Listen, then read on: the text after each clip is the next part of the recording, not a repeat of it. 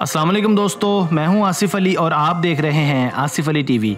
Viewers, ये 25 जून 2013 की बात है, जब कतर के सबका अमीर हमद बिन खलीफा अस्सानी ने एक टीवी प्रोग्राम के दौरान अचानक अमीर रियासत के इख्तियार अपने बेटे तमीम बिन हमद अस्सानी के स्पुर्द करके पूरी अरब दुनिया और खलीज रियासतों में एक नई मिसाल कायम कर दी और पूरी दुनिया के मीडिया और हुक्मरानों को हैरान कर दिया। क्योंकि बादशाहत एक ऐसा निज़ाम हुकूमत होता है जिसमें खलीफा वक्त या अमीर रियासत वक्त आखिरी सांस अपने तख्तो ताज को नहीं छोड़ता। क्योंकि बादशाहत एक ऐसी पुरकशिश चीज़ है जो बेटे को बाप और बाप को बेटे का दुश्मन बना देती है। मगर इस नई कतरी रवायत ने यह साबित किया है कि कतर बिलाशुबा एक मज़बूत रवायात का हामिल एक तरक्की याफ्ता रियासत है।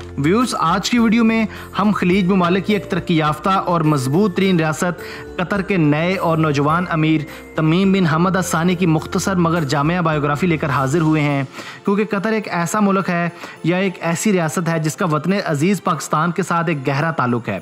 इस वक्त हज़ारों पाकिस्तानी तारकिन वतन रियासत कतर में जेर मुलाजमत है, जबकि हुकूमती सतह पर भी कतर की वतन अज़ीज़ के साथ बड़े पैमाने पर लेन देन है। आज की वीडियो में हम नए अमीर कतर तमीम बिन हमद असानी की इब्तदाई ज़िंदगी, तालीमी अदवार और इनके बतौर हुक्मरान पॉलिसियों का ज़िक्र करेंगे। ये वीडियो एक जनरल नॉलेज बेस्ड वीडियो है। मैं उम्मीद करता हूँ कि ये वीडियो भी आपको पसंद आएगी और आपको तफरी और मालूम फ्राहम करेगी। इसके अलावा अगर आपने अब तक हमारा चैनल सब्सक्राइब नहीं किया तो अभी सब्सक्राइब करें, क्योंकि हम आपके लिए ऐसी वीडियोस लेकर हाजिर होते रहेंगे। व्यूर्स तमीम बिन हमद असानी तीन जून उन्नीस को कतर के दारकूमत दोहा में पैदा हुए। ये इस वक्त मौजूदा अमीर रियासत और कतर के स्याह सफ़ेद के मालिक हैं। अपने बाप हमाद बिन खलीफा असानी के 2013 में तख्त छोड़ने के बाद इन्होंने बाकायदा हुकूमत की बागदौड़ संभाली। ये कतर के आठवें और मौजूदा अमीर हैं। दोस्तों, खलीज रियासतों में और अरब रियासतों में जहाँ जहाँ बादशाहत राइज है, वहाँ बादशाह खलीफा और किंग को अमीर या अमीर रियासत कहा जाता है। ये शेख हमद बिन खलीफा आसानी के छोटे बेटे हैं, जबकि मौज़ा बिन नसीर के दूसरे बेटे हैं। मौज़ा बिन नसीर हमद बिन खलीफा की दूसरी बीवी हैं। यूँ अमीर रियासत शेख तमीम बिन हमद के बाप हमाद बिन खलीफा ने तीन शादियाँ कर रखी थी, मगर ज़्यादा पजराई और मकबूलियत मौज़ा बिन नसीर को ही मिली। ये कतर की फ़र्स्ट लेडी भी कहलाती थी। मोज़ा बिनत नसीर अल मैसा बिनत हमद बिन खलीफ़ा आसानी की वालदा भी हैं। यूँ मैसा बिनत हमद जिनके मतलब हमने दो दिन पहले एक वीडियो भी बनाई थी।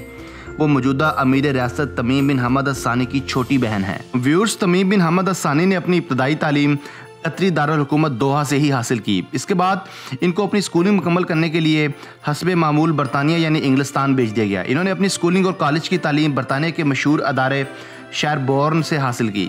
ये अदारा डोरसेट में वाक़ था।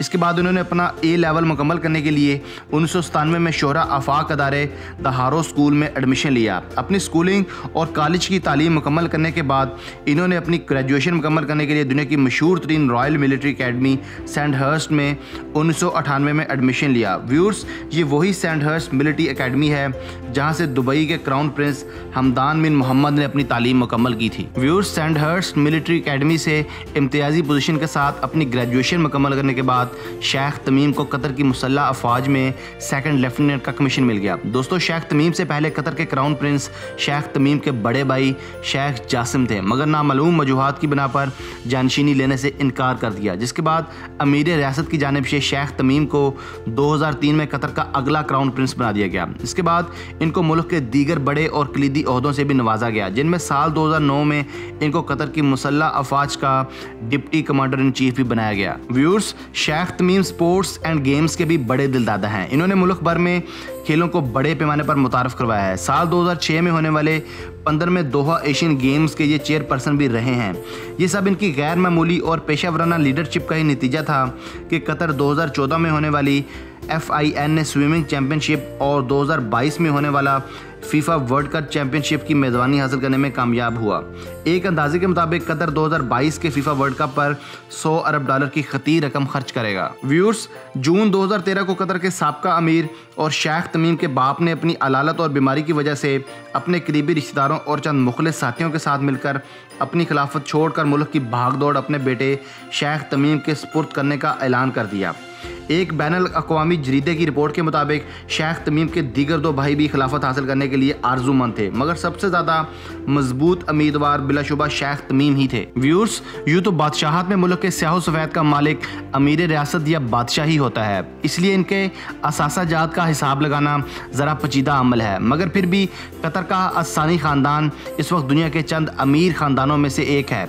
इनकी दौलत इस वक्त बिलियंस ऑफ़ डॉलर्स में है। तमीम बिन हमद असानी के पास इस वक्त 10 बिलियन डॉलर के असासा जात मौजूद हैं। दोस्तों, मैं हूँ आसिफ अली और आप देख रहे थे आसिफ अली टीवी। मैं उम्मीद करता हूँ कि आपको ये वीडियो पसंद आई होगी। अपनी मोहब्बत का इजहार वीडियो को लाइक करके और राय का इजहार कमेंट्स करके कीजिएगा। अगर आपने अब तक हमारा चैनल सब्सक्राइब नहीं किया तो अभी सब्सक्राइब करें और लेटेस्ट अपडेट्स के लिए बेल आइकान को दबाएँ। Thanks for watching this video keep watching Asif Ali TV.